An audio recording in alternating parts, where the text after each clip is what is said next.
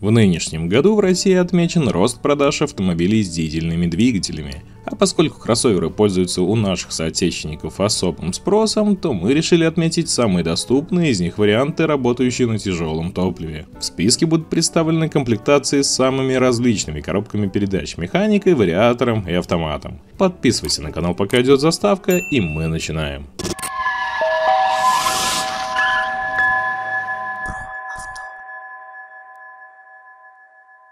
Пятое место из-за своей стоимости занимает Nissan X-Trail.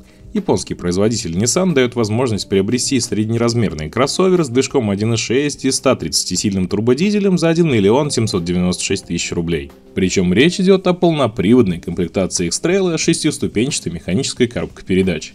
Расход топлива в смешанном цикле у этой модификации составляет примерно 5,5 литров на сотню. Если вы сомневаетесь в наличии богатого списка опций, то успокойтесь. Здесь и датчики дождя и света, и круиз-контроль, и бесключевой доступ, и функция автостарт-стоп, и датчики парковки, и куча-куча других прибамбасов. В общем, за эти деньги более чем достаточно. Но ценник все-таки кусается, примерно так же, как и у нашего четвертого места. Сегодня его занимает Hyundai Tucson.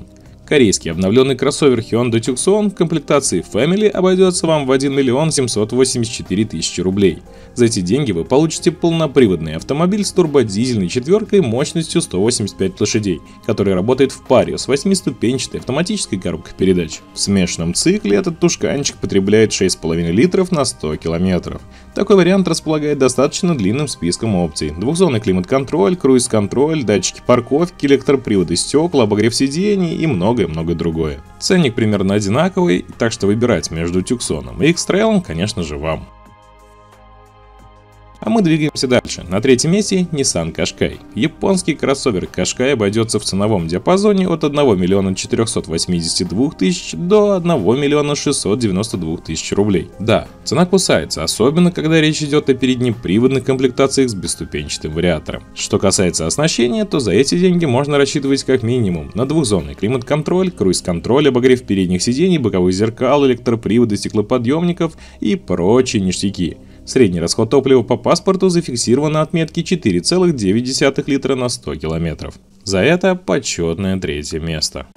Следом в списке Citroёn C3 Aircross. Молодой француз Citroёn C3 в переднеприводном варианте с 92-сильным турбодизельным мотором 1.6 HDI доступен в ценовом диапазоне от 1 250 до 1 390 тысяч рублей. Все три дизельные комплектации также продаются только с пятиступенчатой механикой.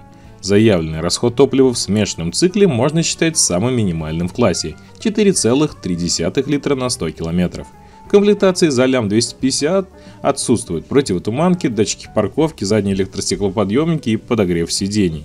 Зато предлагается полный комплект подушек безопасности и богатый арсенал средств активной безопасности. АБС, ЕСП, ЕБД, ЕБА и АСР. Вам не кажется, что я сейчас как будто выругался? Ладно, не суть. Комфорта минимум, цена средняя, безопасность высокая. Да, вполне нормальное второе место нашего рейтинга. Ну и самым доступным кроссовером с дизельным мотором на нашем рынке был и остается Renault Duster в комплектации Expression с полуторалитровой четверкой мощностью 109 лошадей по цене 986 990 рублей и ценник меньше миллиона поставил его на первое место. Такая версия доступна только в полноприводном варианте с шестиступенчатой механикой. Минимальная комплектация с мотором на тяжелом топливе не балует большим списком опций. Здесь нет даже кондиционера, нет обогрева сидений, нет систем курсовой устойчивости и даже нет противотумана. Заявленный расход топлива кроссоверов в смешанном цикле составляет 5,3 литра на 100 км. На данный момент Renault Duster – самый дешевый дизельный кроссовер на российском рынке. А выбирать комфорт, безопасность или экономичность, конечно, только тебе. А я лишь хочу услышать твое мнение. Пиши в комментариях, согласен ли ты с рейтингом или бы выбрал другой автомобиль, которого нет в нашем списке. А также ставь палец вверх и подписывайся на канал, если еще не подписан. С тобой был новостной портал про авто. До скорых встреч!